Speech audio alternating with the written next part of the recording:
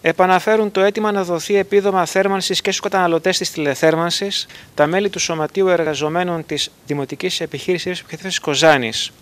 Το αίτημα που απεστάλλει στους Υπουργούς Ενέργειας και Οικονομικών αναφέρει τα εξής.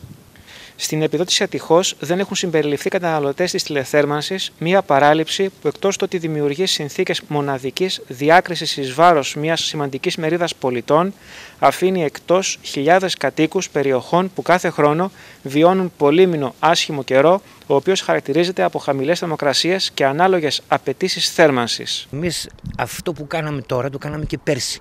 Το απαιτήσαμε με τις ίδιες προποθέσει. Τώρα βέβαια το πάμε λίγο πιο δυναμικά γιατί αλλάζουν και οι όροι του παιχνιδιού. Και δεν νομίζω ότι μπορεί να αποτελεί ας πούμε εσαή εξαίρεση η τηλεθέρμανση όταν έχεις αποφασίσει να επιδοτήσεις ακόμα και του κάρβουνο. Αυτό που ζητάτε λοιπόν ποιο είναι και, και το αίτημα αυτό γίνεται με, επίσημη, με επίσημο έγγραφο του Σωματείου Εργαζομένων της ΔΕΙΑ προς το Υπουργείο. Ναι, ακριβώς.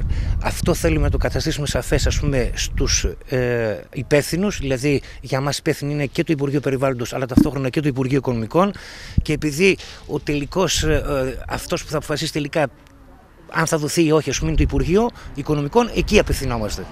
Θεωρείτε πω είναι δικαιολογημένο το αίτημα να συμπεριληφθεί η τηλεθέρμανση στην επιδότηση; Το θεωρούμε απόλυτα δικαιολογημένο από τη στιγμή που θα επιδοτηθεί το φυσικό αέριο. Και υπάρχει ένας ειδικός λογαριασμός, ας πούμε, και μια ειδική μέρημνα και δεν ξέρω βέβαια τη σκοπιμότητα αυτής, ας πούμε έτσι.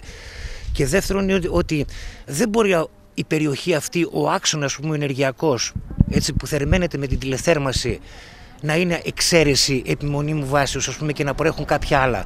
Γιατί τα νησιά, δηλαδή κάποιοι μας είπαν, Μα δεν μπορούμε όμω να κάνουμε και εξαίρεση να επιδοτείται μόνο η Κοζάνη. Μα δεν είναι επιδοτείται η Κοζάνη. Τα νησιά τα πληρώνουμε όλοι μας. Ξέρουμε ποια είναι τα οίκο και πώς στηρίζονται ας πούμε, οι περιοχές αυτές.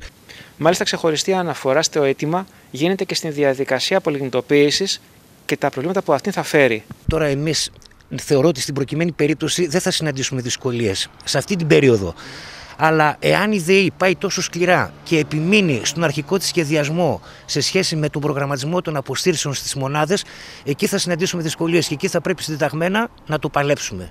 Για να ανατρέψουμε το σχεδιασμό, τον εσωτερικό της ΔΕΗ. Γιατί δεν βγαίνει και για την τηλεθέρμανση. Δεν βγαίνει αυτό. Δεν βγαίνει, αλλά να φανταστείτε ότι συγκυριακά, αλλά δεν ξέρουμε τι διάρκεια και με ποια ένταση ας πούμε, θα πάει αυτή η περίοδος τώρα με το φυσικό αέριο να εκτινάσετε στα ύψη και πολύ πιο πάνω από το λιγνίτη. Γιατί ο λιγνίτης μην φτάσουμε σε να παρακαλάμε να λειτουργούν οι μονάδες. Έτσι, για να αντέξουμε ας πούμε, αυτή την πίεση.